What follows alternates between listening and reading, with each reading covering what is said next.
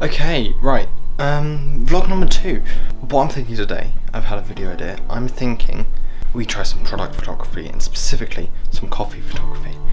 Now, this is a great way to expand your portfolio and if you're going to cafes and stuff and offering your services, they tend to like having something to see and look at.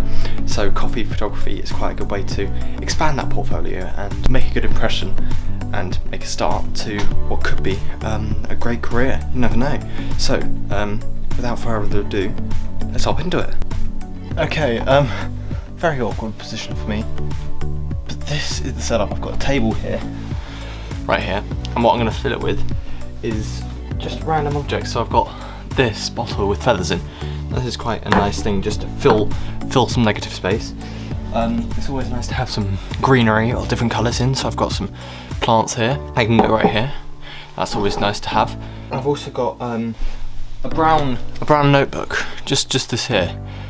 But this is nice because I can put this here even though I just go the edge of it, but then you've got something else in here. What you want is to fit the theme, so I'm going for a nice grungy theme here, so that's why we've got all these brown colours, and I'm increasing some warmth. That's why I've got this warmth lighting here. I can add more lighting here, this and this, and add some more warmth into it, which would be a great idea if I place it like that. Then I put the polarizing filter on, which means that light can't actually reflect off the table. I've got this nice bronze hand, I'm going to call it. So that can go there. And then I'm just going to collect a load of other stuff and actually put it around here.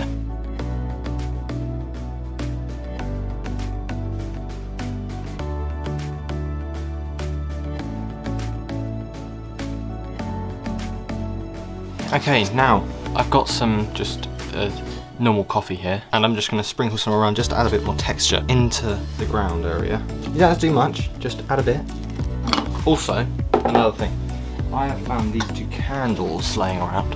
I want to add them in, so I'm going to actually put them here and light them. That means that has more candle light coming through, which might make the image look even better. And I'm going to put the coffee cup just here, and it's going to be white, so it's going to stand out from everything else. Just brought in the coffee. It's not the best. I am no uh, expert in making coffee. So what I want to do is actually move some of the stuff around, just pushing this in here, now, I think I get shooting and we'll see how it turns out. Let's go.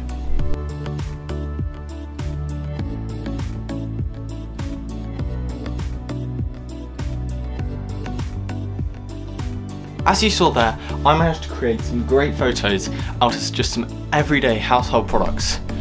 This really proves that no matter where you are, you can get some good photos out of it. And this is a great way to expand your portfolio and demonstrate to cafe owners and large scale brands that you can actually do good product photography. Now you can do this with a range of things. I only did this with coffee because, well, why not? And it also means I now get to drink the coffee. I'll show you the edits, but for now, I think that's everything. Have a good one. Peace.